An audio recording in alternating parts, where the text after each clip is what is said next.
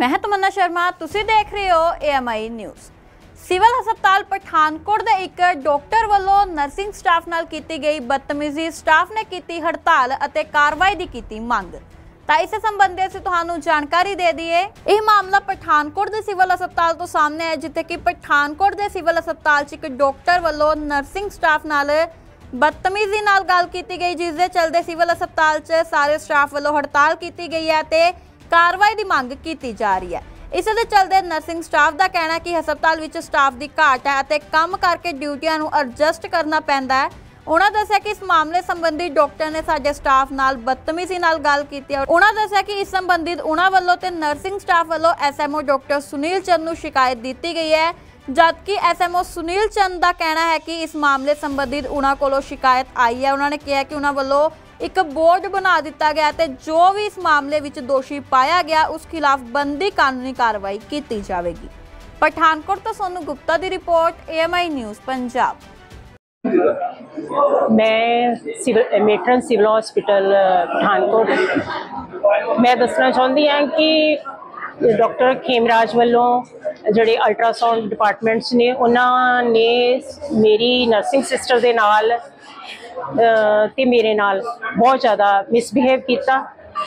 ਜਦੋਂ ਕਿ ਉੱਥੇ ਇੱਕ ਕਲਾਸ 4 ਸਾਡੇ ਕੋਲੋਂ ਪਤਾ ਹੀ ਹੈ ਸਾਰਿਆਂ ਨੂੰ ਕਿ ਸਾਡੇ ਕੋਲੋਂ ਬਹੁਤ ਜ਼ਿਆਦਾ ਸਟਾਫ ਦੀ ਕਮੀ ਆ ਤੇ ਅਸੀਂ ਸਟਾਫ ਦੀ ਇੱਧਰ ਉੱਧਰ ਡਿਊਟੀ ਲਗਾਉਣੀ ਪੈਂਦੀ ਆ ਕਿਉਂਕਿ ਅਸੀਂ ਹਸਪੀਟਲ ਦੇ ਇੰਚਾਰਜ ਹੋਣ ਕਰਕੇ ਸਾਨੂੰ ਥੋੜੇ ਥੋੜੇ ਟਾਈਮ ਲਈ ਕੁਝ ਕੋਈ ਨਾ ਕੋਈ ਸਟਾਫ ਇੱਧਰ ਉੱਧਰ ਪਾਣਾ ਪੈਂਦਾ। ਅਸੀਂ ਬੇਬੀ ਨੂੰ ਕਿਹਾ ਕਿ ਬੇਬੀ ਕਲਾਸ 4 ਆ ਉੱਥੇ ਆਊਟਸੋਰਸ ਦੀ ਅਸੀਂ ਉਹਨੂੰ ਕਿਹਾ ਕਿ ਤੂੰ ਅਹ, 10 ਮਿੰਟ ਲਈ ਐਕਸਰੇ ਡਿਪਾਰਟਮੈਂਟ ਦੇ ਵਿੱਚ ਡਸਟਿੰਗ ਕਰ ਰਿਹਾ। ਉਹਨੇ ਆਪਣਾ ਫੋਨ ਡਾਕਟਰ ਖੇਮਰਾਜ ਨੂੰ ਦੇ ਦਿੱਤਾ। ਡਾਕਟਰ ਖੇਮਰਾਜ ਨੇ ਨਰਸਿੰਗ ਸਿਸਟਰ ਸੁਦੇਸ਼ ਦਾ ਫੋਨ ਜਦੋਂ ਚੱਕਿਆ ਤੇ ਉਹਨਾਂ ਨੇ ਉਹਨੂੰ ਕਿਹਾ ਕਿ ਤੂੰ ਇਹ ਤੂੰ ਇਹ ਕਦੀ ਕਿਤੇ ਡਿਊਟੀਆਂ ਲਗਾ ਦਿੰਨੀ ਹੈ ਤੇਰਾ ਕੀ ਇਰਾਦਾ ਵਾ? ਤੂੰ ਬਹੁਤ ਜ਼ਿਆਦਾ ਤੰਗ ਕਰਦੀ ਹੈ ਫਲਾਣ, ਇਹ ਬਹੁਤ ਜ਼ਿਆਦਾ ਗਲਤ ਬੋਲੇ। ਤੇ ਇੱਥੋਂ ਤੱਕ ਬੋਲ ਦਿੱਤਾ ਕਿ ਤੈਨੂੰ ਮੈਂ ਤੇਰੇ ਮਾ- ਇੱਥੇ ਆਣ ਕੇ ਮੂੰਹ ਤੇ ਥੱਪੜ ਮਾਰਨੇ ਨੇ। ਜਦੋਂ ਕਿ ਅਸੀਂ ਆਪਣੀ ਕੰਪਲੇਨ ਲੈ ਕੇ ਜਦੋਂ ਐਸਐਮਓ ਸਾਹਿਬ ਕੋਲ ਗਏ ਤੇ ਸਰ, ਇਹ ਬਹੁਤ ਜ਼ਿਆਦਾ ਉਹਨਾਂ ਨੇ ਰੂਡਲੀ ਬੋਲਿਆ ਕਿ ਤੇਰੇ ਥੱਪੜ ਮਾਰ ਦੇਣੇ ਨੇ। ਤੁਸੀਂ ਉਸ ਤਰ੍ਹਾਂ ਉਹਨੇ ਅੱਗੋਂ ਕਿਹਾ, ਸਰ ਤੁਸੀਂ ਮੈਨੂੰ ਇਸ ਤਰ੍ਹਾਂ ਨਹੀਂ ਬੋਲ ਸਕਦੇ। ਤੁਸੀਂ ਕਿਉਂ ਬੋਲ ਮੈਂ ਹਸਪੀਟਲ ਲਈ ਕਰ ਰਹੀ ਹਾਂ ਸਾਰਾ ਕੁਝ ਅਸੀਂ ਐਸਐਮਓ ਸਾਹਿਬ ਕੋਲੋਂ ਕੰਪਲੇਨ ਲੈ ਕੇ ਗਏ ਆ ਤੇ ਅਸੀਂ ਉੱਥੇ ਬੈਠੇ ਹੋਏ ਆ ਤੇ ਉਹਨਾਂ ਨੂੰ ਡਾਕਟਰ ਸਾਹਿਬ ਆ ਗਏ ਨੇ ਅੰਦਰ ਤੇ ਉਹਨਾਂ ਨੇ ਬੋਲਣਾ ਸ਼ੁਰੂ ਕਰ ਦਿੱਤਾ। ਤੂੰ ਤੂੰ ਕਰਕੇ ਮੈਨੂੰ ਬੋਲਣਾ ਸ਼ੁਰੂ ਕਰ ਦਿੱਤਾ। ਤੇ ਸਰ ਕਹਿੰਦੇ ਕਿ ਤੂੰ ਇਹ ਇਸ ਤਰ੍ਹਾਂ ਨਹੀਂ ਬੋਲ ਸਕਦਾ ਨਰਸ ਮੇਟਰਨ ਨੂੰ। ਤੂੰ ਇਹ ਗਲਤ ਬਿਹੇਵ ਕਰ ਰਿਹਾ ਵਾਂ। ਤੂੰ ਮਾਫੀ ਮੰਗ। ਬਟ ਉਹ ਆਪਣੀ ਗੱਲ ਤੇ ਅੜੇ ਰਹੇ ਕਿ ਮੈਂ ਇਸ ਤਰ੍ਹਾਂ ਹੀ ਕਰਨਾ, ਮੈਂ ਨਹੀਂ ਇਸ ਤੋਂ ਪਹਿਲਾਂ ਵੀ ਸਾਡੇ ਸਾਰੇ ਕਈ ਸਟਾਫ ਨਰਸਸ ਦੇ ਨਾਲ ਜਾਂ ਹੋਰ ਸਾਡੇ ਸਟਾਫ ਦੇ ਫੀਮੇਲ ਸਟਾਫ ਦੇ ਨਾਲ ਇਹਨਾਂ ਦਾ ਵਿਹਾਰ ਬਹੁਤ ਗਲਤ ਹੈ ਔਰ ਬਹੁਤ ਰੂਡਲੀ ਬੋਲਦੇ ਨੇ, ਗਾਲਾਂ ਤੱਕ ਕੱਢਦੇ ਨੇ ਸਾਨੂੰ ਲੇਡੀਜ਼ ਨੂੰ, ਜਦੋਂ ਕਿ ਹੁਣ ਅਸੀਂ ਆਪਣੇ ਹਾਈ ਹਾਈ ਅਥਾਰਟੀ ਨੂੰ ਲਿਖ ਕੇ ਦਿੱਤਾ ਇਹਨਾਂ ਦੇ ਖਿਲਾਫ, ਜੇ ਇਹ ਦੋ ਦਿਨ ਦੇ ਵਿੱਚ ਐਕਸ਼ਨ ਨਹੀਂ ਲੈਂਦੇ ਇਹਨਾਂ ਦੇ ਖਿਲਾਫ ਕੋਈ, ਤੇ ਅਸੀਂ ਆਪਣੀ ਫੁੱਲ ਡੇ ਐਮਰਜੈਂਸੀ ਵੀ ਬੰਦ ਕਰ ਕਰਕੇ ਫੁੱਲ ਡੇ ਅਸੀਂ ਸਟ੍ਰਾਈਕ ਤੇ ਆ ਜਾਵਾਂਗੇ। ਹੁਣ ਮੈਡਮ ਜੀ ਸਟ੍ਰਾਈਕ ਕਵਰ ਕਰ ਰਹੇ ਹੋ ਜਾਂ? ਅਸੀਂ ਐਸਐਮਓ ਸਾਹਿਬ ਨੇ ਕਿਹਾ ਕਿ ਸਾਨੂੰ ਥੋੜਾ ਟਾਈਮ ਦਿਓ। ਅਸੀਂ ਉਹਨਾਂ ਕੋਲ ਤੁਸੀਂ ਜਿਹੜਾ ਰਿਟਰਨ ਦਿੱਤਾ ਵਾ ਉਹਦੇ ਵਿਰੁੱਧ ਅਸੀਂ ਐਕਸ਼ਨ ਲੈਂਦੇ ਆ ਜੇ ਉਹ ਤੁਹਾਡੇ ਕੋਲੋਂ ਮਾਫੀ ਨਹੀਂ ਮੰਗਦੇ ਰਿਟਰਨ ਦੇ ਵਿੱਚ ਤੇ ਫਿਰ ਅਸੀਂ ਤੁਸੀਂ ਜੋ ਤੁਹਾਡੀ ਮਰਜ਼ੀ ਤੁਸੀਂ ਕਰ ਸਕਦੇ ਹੋ। ਸਾਡੇ ਨਰਸਿੰਗ ਸਟਾਫ ਵੱਲੋਂ ਸਾਡੇ ਮੇਟਨ ਮੈਡਮ ਵੱਲੋਂ ਸਾਡੇ ਜਿਹੜੇ ਨਰਸਿੰਗ ਸਿਸਟਰ ਹੈਗੇ ਆ, ਉਹਨਾਂ ਵੱਲੋਂ ਇੱਕ ਡਾਕਟਰ ਦੇ ਖਿਲਾਫ ਸਾਨੂੰ ਅੱਜ ਕੰਪਲੇਂਟ ਦਿੱਤੀ ਗਈ ਹੈਗੀ ਹੈ ਕਿ ਡਾਕਟਰ ਨੇ ਉਹਨਾਂ ਦੇ ਅਗੇਂਸਟ ਮਿਸਬਿਹੇਵ ਕੀਤਾ ਹੈਗਾ ਹੈ।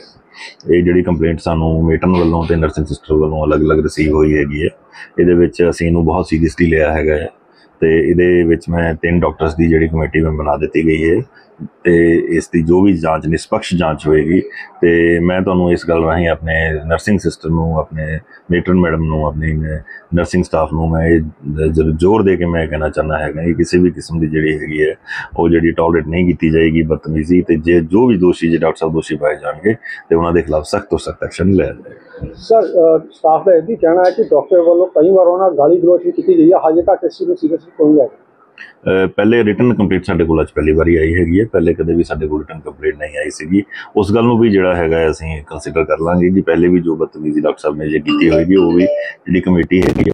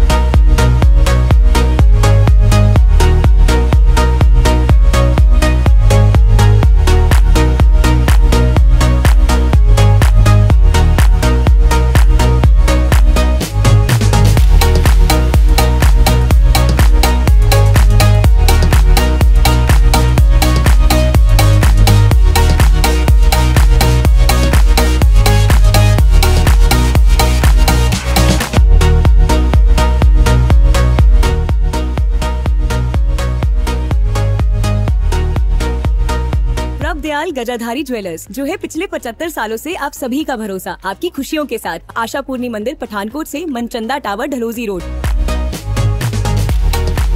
प्रभ दयाल गजाधारी ज्वेलर्स जो है पिछले 75 सालों से आप सभी का भरोसा आपकी खुशियों के साथ। आशा पूर्णी मंदिर पठानकोट से मनचंदा टावर डलहौजी रोड। प्रभ दयाल गजाधारी ज्वेलर्स जो है पिछले 75 सालों से आप सभी का भरोसा आपकी खुशियों के साथ। आशा पूर्णी मंदिर पठानकोट से Manchanda tower Dalhousie road.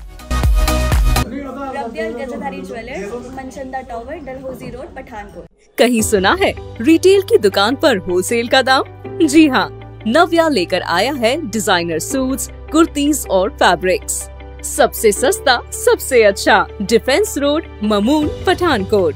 Contact nine six one four one nine six one four one